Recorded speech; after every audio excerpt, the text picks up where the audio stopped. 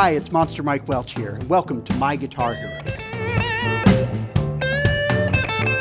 Every musician has a long list of other musicians, both past and present, that have inspired, influenced, and shaped their sound and musicality. Albert King, Buddy Guy, Guitar Slim, Magic Sam, Otis Rush, and T-Bone Walker are just a few of the players that have made a huge impact on my own playing.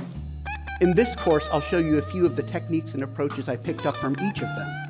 We'll also play through a series of performance studies to show you some of the ways these masterful players have informed the way I look at music, the way I compose songs, and the way I improvise on the guitar.